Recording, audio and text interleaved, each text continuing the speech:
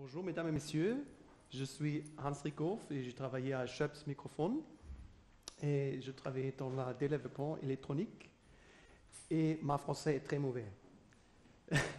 je vais continuer pour ma présentation en anglais.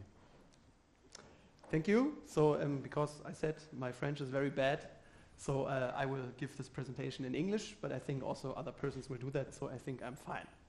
So, thank you to Michelle for inviting me for here. And I want to talk about a little bit about the most analog thing today, and this is the microphone, and also how the microphone translates the sound into an electric or an electric signal, and this will stay analog for a long time, I think. And I want to specifically um, talk about how the sound from a microphone comes and why microphones sound different. And I try to explain this a little bit. When you do a, a recording, for example, like downstairs a music recording, um, one of the most first things which happen there is, of course, you need a sound source, which is an instrument and, of course, the musician who plays it, which creates the sound. The second thing you have then is the room. So if you have a nice room, you will want to catch the character from the room or you want to record exactly that room and not, for example, something else which is very colored. So for great recording, most of the time it's much easier if you have a nice and good sounding room.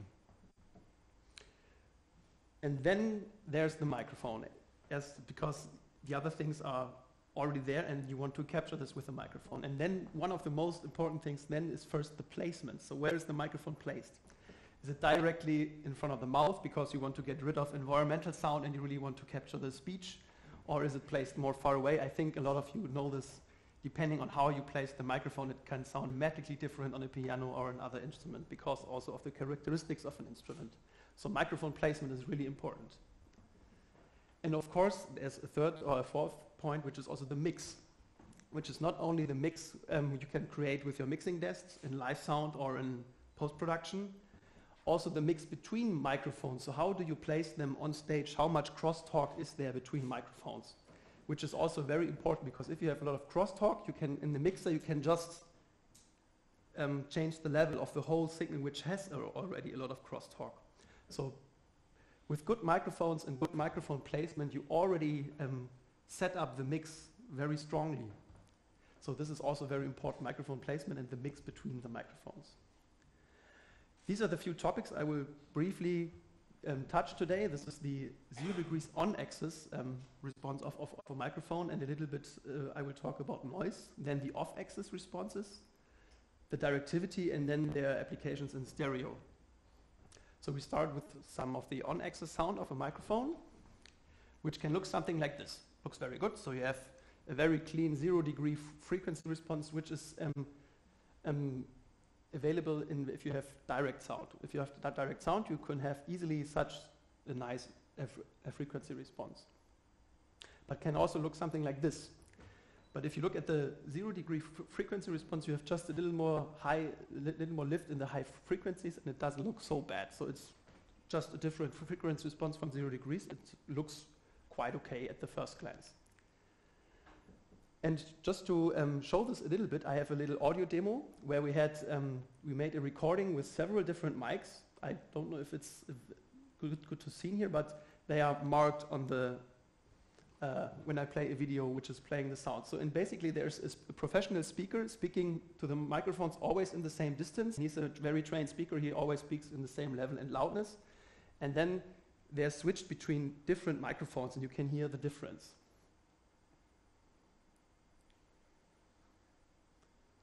So different rooms and different microphones. Is it readable? I don't hear anything. Do I have to turn up the level?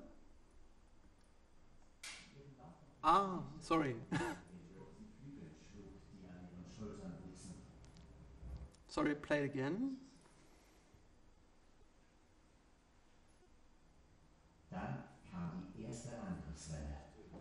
Fauchend schoss ein schwarzer Blitz aus dem tiefsten Dunkel des Doms auf mich zu. Eine muskulöse Katze von der Größe einer ausgewachsenen Glocke und mit dem Gesicht eines wütenden Pavians, die ihren Lauf noch beschleunigte, indem sie mit den kurzen Flügeln schlug, die an ihren Schultern wuchsen. Dann kam die erste Angriffswelle. Fauchend schoss ein schwarzer Blitz aus dem tiefsten Dunkel des Doms auf mich zu. Eine muskulöse Katze von der Größe einer ausgewachsenen Dogge und mit dem Gesicht eines wütenden Pavians, die den Lauf noch beschleunigte, indem sie mit den kurzen Flügeln schlug, die an ihren Schultern wuchsen. Dann kam die erste Angriffswelle. Fauchend schoss ein schwarzer Blitz aus dem tiefsten Dunkel des Doms auf mich zu. Eine muskulöse Katze von der Größe einer ausgewachsenen Dogge und mit dem Gesicht eines wütenden Pavians, die ihren Lauf noch beschleunigte, sie mit den kurzen Schultern wuchsen. Dann kam die erste Angriffswelle. Schoss So I hope you heard something. Um, and the same demo is available on hauptmikrofon.de. It's the, um, the website from Helmut Wittek, and you can go there and listen to all the samples all time and check out everything you want. It's available there as the sample player. And what I think what, which is getting very clear at the moment directly is that depending on the room, you hear a very big difference in the sound, and also the same microphone in different rooms sounds very different, but also in the same room, same microphones or different microphones sound very different. This is something which is getting very clear here. And there's also no processing on all the files. It's just plain recording, no compressors or de-essing or equalizers, just a plain recording. Um, what I wanted to cover just shortly is, because this is something often overlooked, is like noise spectra of microphones, just very briefly. This is just a, le a relative level. It's not an absolute level in dB. And this is, for example, our CMC6 with an MK4, and this is a microphone of a competitor. And the interesting thing here is that it has less noise in the mid-range, but to higher frequencies, it's getting much more noisy, and this is due to a filtering in the electronics, because they compensate the frequency response of the capsule. And what I just wanted to mention here shortly is if you apply an A-weighting filter here and look at this dBA values in datasheets, the red mi microphone will have a better value than we because um, this is um, a slightly one because they have less noise in the mid frequencies where the filter is very strong and the high frequencies are cut off by the weighting filter of this value. So, but basically, if you want to record some, something with very high frequencies, like a quite triangle or so, um, you, can happen, it, it, can happen to you that you have more noise with that microphone and not with others, or our microphones. And these are other two competitors in the same price range which have in general more noise. So very noisy or less noisy microphones with small diaphragms are very rarely. So this is also all small diaphragm microphones and not large diaphragms. They are less noisy because of the large diaphragm. Um, to the off-axis sound, that is where it's getting interesting with nearly every microphone where sound comes from. Because you might remember this is the zero degree frequency response, which doesn't have much to do or doesn't have so much an impact on the sound in general because it just has a little slightly diff different equalizing, so to say. What here's interesting with that microphone is then the 90 degree frequency response because this is not parallel or not even parallel with the zero degree fr frequency response. And this means that, for example, also reflections and other um, sound signals also in the diffuse field have a different frequency um, applied to them than the direct sound. And this colors a lot the sound in the this microphone will affect the sound of in timbral, for example. And so because the, the lateral sound will have a much other frequency response than the zero degree frequency response. And this is, for example, something we pay a lot of attention when we're developing our capsules and designing our capsules at Schoeps. So you might see, for example, with the MK2, it's a very good omni just to high frequencies. It's getting a little more directive, but the frequency are basically to 2K, they are even the same, and then they, they, they go out even smoothly. And th this is the same for the MK4. So the 90 degree frequency response, it's the green curve. It's nearly parallel to the zero degrees. But um, what is the most important, it stays below it. This, so this is very important. And also the, the other frequency responses from 125 and 180, they stay below the zero degree and then the 90 degree frequency response. So that's, though the perfect goal would be that they're all very even, this is very hard to achieve, but we are quite close to that. So this is why we get this very nice and even polar diagrams in our capsules, which creates very nice sounding capsules, for, especially in good sounding rooms. When we take, for example, just for comparison, the MK4 with this very nice polar diagram, very smooth and even. So this is a normal octave smooth polar diagram, and compare it to a large diaphragm microphone. This is one of the main di- difference between a small and a large diaphragm mi- microphone. It's the polar diagram. So it- doesn't um, necessarily mean that the large diaphragm mi- microphone sounds always bad. it can, so, so it, but it has a lot of more character, so to say, than a small diaphragm microphone. So it will affect the room sound in a way which is unknown, so, but it will color it because the, the polar responses are not very evenly and very smooth. They, especially above 2K, it's getting very wild in a large diaphragm because of the reflections and also the pressure effect on the membrane. So this is um, then has a great effect on the sound, which can be liked.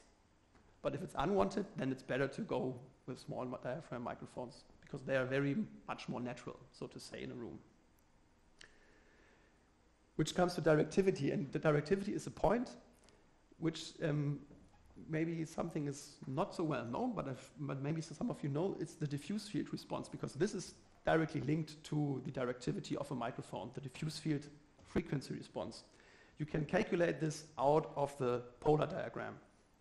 And for an Omni MK2, for example, you see it's very smooth and then it rolls off to high frequencies. This is why we have, for example, diffuse field compensated Omni microphones with a high frequency lift to compensate for that because the loss is in the directivity. The MK4 looks like this, so it's very even, but then has, has a slight boost till 10K. This is the supercardioid from us, the MK41, which is nearly flat. So which th th th this is why why a supercardioid microphone sounds very nice in a room and is often used for indoor booming and sound applications, or film sound applications. This is a shotgun microphone. He- Here you see why. Because in a room, in a diffuse field, outside you have no diffuse field if you're working outside on a film set. But inside, the shotgun microphone rolls off very heavily to high frequencies, which creates a very, or a slightly dull sound, which you don't ha- have, which you do not have when you're working with an MK41 or a supercar inside a room. And then here's the Super CMIT. Some of you might know this is our digital microphone. With that, we can apply through DSP and certain applica- or certain signal processing. We can even reduce the diffuse field energy, so to say, even more down to um, lower frequencies, which is very handy if you are working in not nice sounding rooms or if you have not much time to set up a room on a set, which is um, yeah kind of proved itself as a very great tool if you have little time working on a set.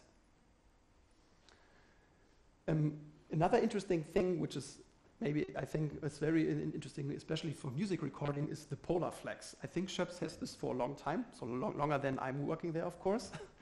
and uh, it's basically it was a box where you can do a certain um, processing in it, and we now made a plugin of it.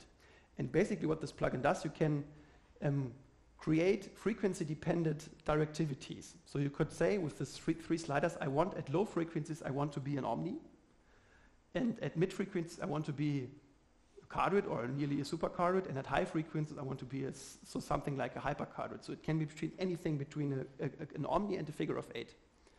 And by that, you can create different behaviors. For example, you can create a microphone, like a virtual microphone, by a mix of two signals of a, an omni and a figure of eight to behave, for example, like a large diaphragm a little bit.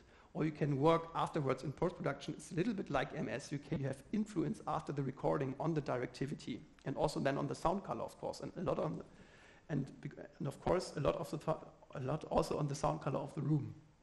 For example, the green, uh, sorry, the green, the blue curve here, the heavy blue curve, the solid one, or the thick blue curve. This is the resulting zero degree frequency response. And the slight blue curve, this is the diffuse field or the resulting diffuse field frequency response, which results if you turn the sliders here in the way you want. So you can just work very creatively with that plugin and it's for free. And you can use it, for example, with our A2P clamp where you have then, if you have a CCM2 and a CCM8, you can directly start recording and use the plugin with that capsules. Other capsules are possible too, but these are work, but these work better. what I wanted to show, oh, that was too quick.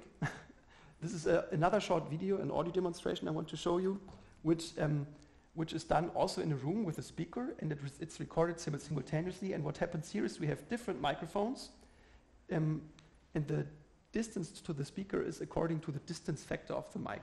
So you might know if you have like the comp um, with a with a cardioid, you can go um, I think, one, 1.4 times more far away than with an Omni. And with a super cardioid even more, and with a shotgun even more. And so, and this is the, the point where you have the same level of diffuse sound and direct sound. And listen to that. Nagel den Kopf. So sage als ein Mischling. Eltern aus der Türkei, aber hier geboren und aufgewachsen und beide Kulturen erlebt. Vollmer trifft den Nagel auf den Kopf. So sage das als ein Mischling.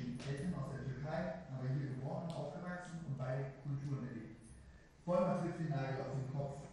So sage ich das als ein Mischling. Eltern aus der Türkei, aber hier geboren und aufgewachsen und beide Kulturen erlebt. Trifft den Nagel auf den Kopf.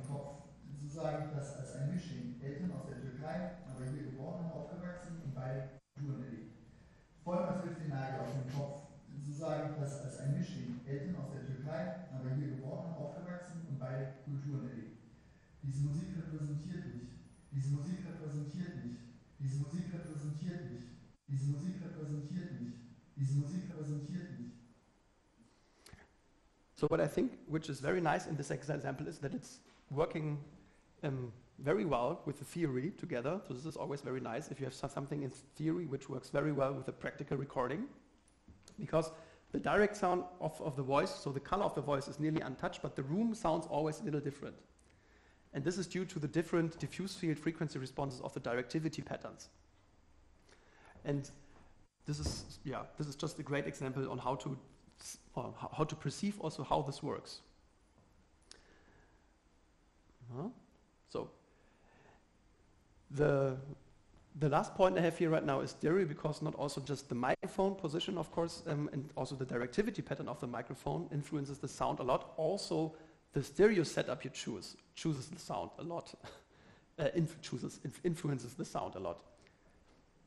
So if you, for example, take an XY a microphone with cardioids, um, you can uh, calculate also for two capsules the diffuse field correlation, which is very important for also like if the room is perceived spacious or not, or a, if you have a very wide stereo image or not. And there's a way to calculate, and we, I don't know, if it, maybe it's a little too small. For an XY, you can calculate a DFI, which is which we call like the diffuse field image predictor. It's, it's a value for the correlation between the two capsules in the diffuse field. And for an XY, it's 0.56, which is very high. And for an AB, it's just 0.01. And this is why an AB or a wide AB or also a Decca tree is often used in, as a main mic in classical music recordings because you get a very wide and nice image and a great room sound and then you can mix in your spot mics and work with that as a foundation. So this is also one other big thing which is um, very important. And I can show you this right now. I also have an audio demo for that. We placed, oops, sorry, I just wanted to explain it a little more. Um, we placed this setup on different spots in Karlsruhe and re recorded the sound. And it's basically an XY and ORTF, both with MK4, then a wide ORTF with open cardioids with MK22s, and a wide A and wide AB with MK2s. And then it's a switched in every scene. It's switched between the two, uh, between all mics. And it's ambience recordings. There you hear this very nicely.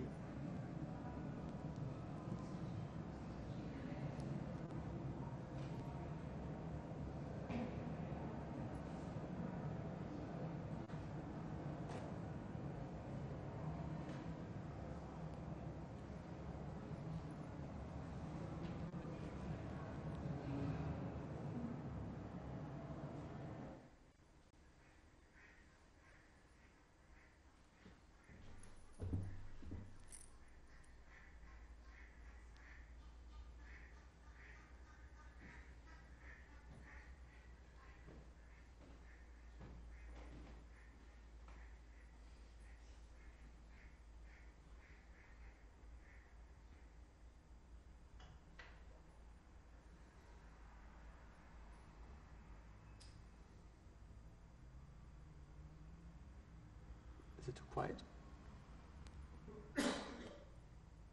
You need more level?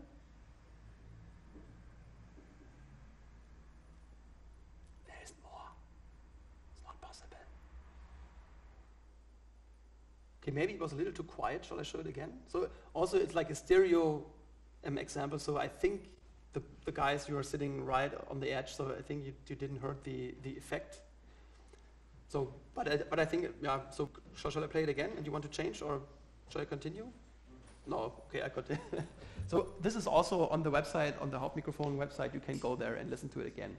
What it's um, basically shown there, but you will hear if you are in the middle. I think you, you heard that that you um, hear clear the difference between coincident and spaced um, setups, especially in the room sound and especially in ambience. You hear a very wider image, and which also affects the timbre of the recording.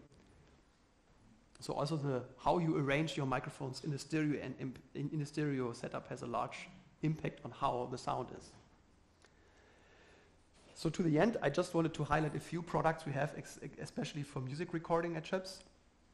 And this is, for example, I think you all of you all of you all know this. It's the tube system. So it's a very versatile system and it has an elegant design, which is also copied a lot. so we have, um, but we have this for a long time. We I think in this in this configuration and in this look, we have it for over 30 years right now, and it's available for CCM and Colette series. And something you might not know is it's very customizable because everything we do is handmade. So if you want specific length or a specific combination between tube, swivel, gooseneck, or whatever, um, we can do that, and it's not much more in the cost also because it's handmade anyway. So it's um, a little different and can then have a great advantage for you. You can also have custom colors if you like. So this is all possible. So just ask for it, and then we can make you an offer, and maybe uh, we, we, can make you happy with a custom tube. Just for to show you a, a little, a, a, little examples, we have as a set, it's like the typical singer tube. We have it's a two and, and two and a half meter tube with, for, for Colette with a CMC at the end. We call it singer because it's very often used for singers like Andrea Bocelli you saw at the beginning. Then like for violin, I think so, something similar is also standing there to record, I don't know, the violin. I think it has an instrument adapter, but I, I saw it somewhere else. I have to look again. but this is also some like a typical way of a longer STR and then a swivel and also like a tube for C. And which is also interesting, um, we have also like a tube system which you can combine with um, a lot of length and different ways also with a transmitter where you can go on a lot of different transmitters and use the Schoeps capsules wireless.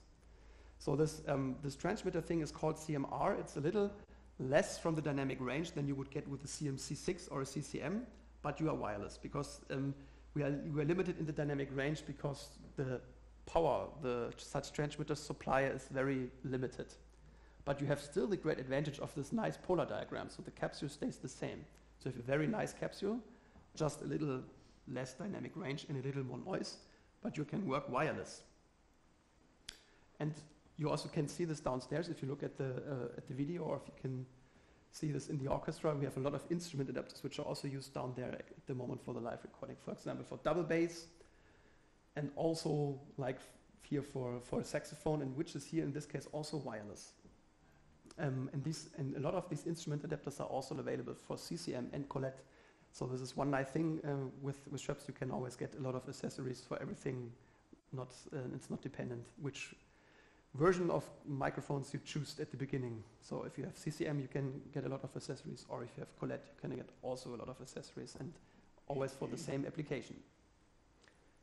Thank you very much for your attention.